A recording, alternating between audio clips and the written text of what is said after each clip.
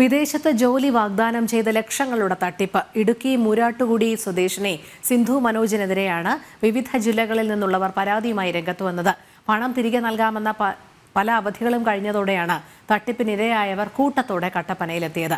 കഴിഞ്ഞ ജൂണിൽ കോഴിമല സ്വദേശിനിയുടെ സമാനമായ പരാതിയിൽ സിന്ധുവിനെ കട്ടപ്പന പോലീസ് അറസ്റ്റ് ചെയ്തെങ്കിലും കോടതിയിൽ നിന്നും ജാമ്യത്തിൽ വിട്ടിരുന്നു. ഏകദേശം ഇരുപത് ലക്ഷത്തിലധികം രൂപ പലരിൽ നിന്നായി സിന്ധു തട്ടിയെടുത്തതായി പരാതിക്കാർ പറയുന്നു. ഏതാനും പേർക്ക് റഷ്യയിൽ ജോലി വാഗ്ദാനം ചെയ്ത് ഒരാളിൽ നിന്ന് രണ്ടര ലക്ഷത്തിലധികം രൂപയാണ് ഇവർ വാങ്ങിയത്. കോഴിക്കോട് കോട്ടയം എറണാകുളം ജില്ലകളിൽ നിന്നുള്ളവരാണ് പരാതിക്കാർ. റഷ്യയിലേക്ക് ജോലി വാഗ്ദാനം ചെയ്ത് പണം വാങ്ങിയവർക്ക് തട്ടിപ്പ് വിസ നൽകി ഡൽഹിയിലേക്ക് അയച്ചിരുന്നു. ഇവിടെ എത്തിയപ്പോഴാണ് ഇവർക്ക് തട്ടിപ്പ് മനസ്സിലായത്. പിന്നീട് തിരികെ നാട്ടിലെത്തി സിന്ധുവിനെ വിളിച്ചപ്പോൾ പല കാരണങ്ങൾ പറഞ്ഞ് ഒഴിയുകയായിരുന്നു. ഡൽഹിയിൽ എത്തിക്കഴിഞ്ഞാൽ ഞങ്ങൾ കൂടുതൽ ഒരാൾ വരും. അതായത് അവിടെ ജോലി കാര്യങ്ങൾ ശരിയാക്കി തരാനൊക്കെ അവിടെ നിങ്ങൾ കൂടുതൽ ഒരാളുണ്ടാവും അവരാണ് നിങ്ങളെ ജോലിയും കാര്യങ്ങളൊക്കെ ശരിയാക്കി തരാന്നുള്ള രീതിയിലാണ് ഞങ്ങൾ ഡൽഹിയിലേക്ക് എത്തിച്ചത്. പക്ഷെ പുള്ളിക്കാരനെ വിളിച്ചിട്ട് പുള്ളിക്കാരനെ എടുക്കണില്ല. അങ്ങനെ ഞങ്ങൾ പതിനാല് ദിവസം അവിടെ നിന്നു. ഓരോ ദിവസവും ഓരോ റൂം മാറി മാറി.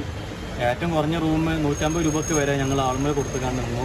ഭക്ഷണം പറഞ്ഞാൽ കയ്യിൽ കാശൊന്നും ഇല്ലായിരുന്നു. കാരണം ചെറിയ ആയിരം ആയിരത്തഞ്ഞൂറ് രൂപ മാത്രമേ കയ്യിൽ കാശ് കിട്ടത്തുള്ളൂ. കാരണം ഇത് കയറി പോവുകയാണല്ലോ പിന്നെ അവിടെ ജോലിയും കാര്യങ്ങളാവും എന്നുള്ള പക്ഷേ പിന്നെ അവിടെ പോയപ്പോഴാണ് കാര്യങ്ങൾ അറിഞ്ഞത്. ഒമാനിൽ ജോലി നൽകാമെന്ന് പറഞ്ഞ് വഞ്ചിക്കപ്പെട്ടവരും ഏറെയാണ്.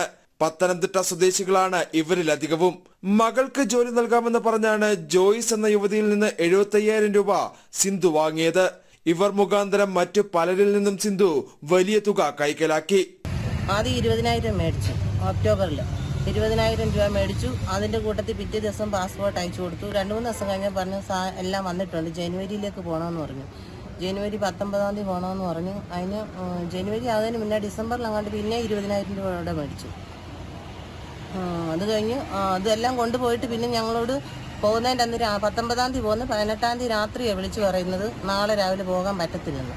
അന്ന് തന്നെ ഞങ്ങൾക്ക് മുപ്പത്തയ്യായിരം രൂപയുടെ ചിലവായി. അന്ന് തന്നെ. ലോ മൈക്രോ ഫിനാൻസ് ഏറ്റവും ഒടുവിൽ രണ്ടാഴ്ചയായി വിളിച്ചിട്ടും സിന്ധു ഫോൺ എടുക്കാതെ വന്നതിനെ തുടർന്നാണ് തട്ടിപ്പിനിരയായവർ കൂട്ടത്തോടെ കട്ടപ്പനയിലെത്തിയത്. പോലീസ് സ്റ്റേഷനിലെത്തി ഇവർ പരാതി നൽകി. അതേസമയം മുമ്പുണ്ടായിരുന്ന കേസുമായി ബന്ധപ്പെട്ട് ഇവരെ അന്വേഷിക്കുന്നുണ്ടെന്നും ഇവരെ കണ്ടെത്താൻ കഴിഞ്ഞിട്ടില്ലെന്നും പോലീസ് വ്യക്തമാക്കി. നിരവധി ആളുകൾ പരാതിയുമായി രംഗത്ത് വന്ന സാഹചര്യത്തിൽ പോലീസ് അന്വേഷണം ഊർജിതമാക്കിയിട്ടുണ്ട്. ജനം ഇടുക്കി.